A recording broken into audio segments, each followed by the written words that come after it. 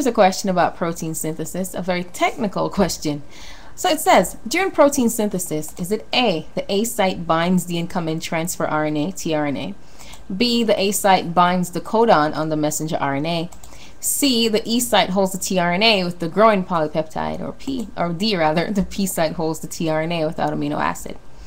So we know that during protein synthesis, what we have is the translation of messenger RNA into a string of amino acids, also called, of course, a peptide, polypeptide protein. So let's take a look at the key players. This is taking place um, on the ribosome in the cytoplasm. Here's a small subunit of the ribosome. Then in the lighter green, we have the large subunit. We have the messenger RNA shown here. Messenger RNA exists um, in codons, or it's read in codons, so three um, nucleotides per codon shown here. Located on the tRNA, these transfer RNA molecules, would be the anticodon.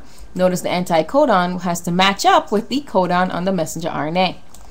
The transfer RNA carries amino acids, right? So at the bottom, they have the uh, what would you say? They have the anticodons that bind codons, and then at the top, as you can see here, they carry individual amino acids. Amino acids together form proteins.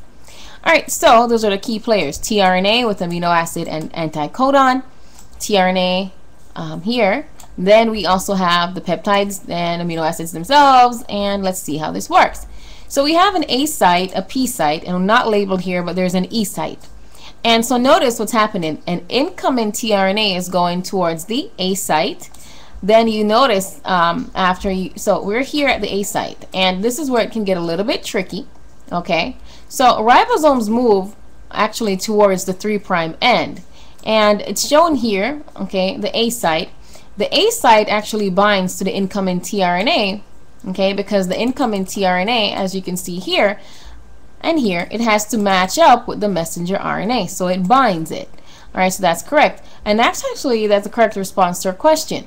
Now adjacent to the A site as you can see is the P site and the P site actually holds the growing polypeptide chain. So you can see here we have an A site and then the P site now how this works actually is that you're going to have a bond formed between this one and this one okay this growing polypeptide chain that's over here and then it's actually attached here then the peptide is released and the P site actually moves on to the E site. And then, you know, I like to say E is for empty. so E is for empty. So E, the E site actually um, moves. We say translocation, that's the correct word, but I don't want to confuse with any more trans words because this is translation.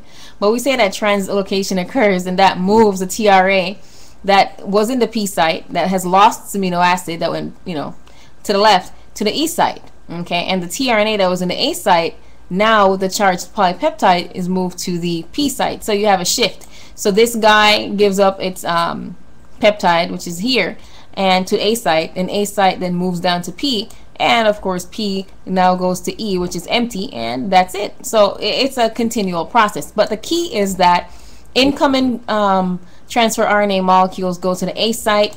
Growing polypeptides are found on the P site okay? And then the E site is where you will observe um, you'll observe empty okay? It holds the tRNA without any amino acid so if we go back now to our question we can hammer it home um, we have options absolutely it says the A site binds incoming tRNA yes and that tRNA will bind the mRNA the A site binds the codon no the A site is located um, where you have, of course, incoming RNA, as I mentioned. E site holds the tRNA with growing polypeptide. No, that's the P site.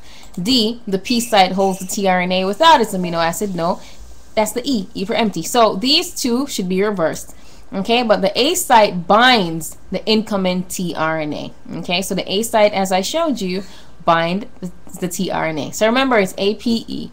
A for incoming, P for growing, E for empty. That's what I say. It no longer has any um, amino acids or tRNA bounds, bound. So during protein synthesis, the A site binds the incoming transfer or tRNA, and that is the correct response.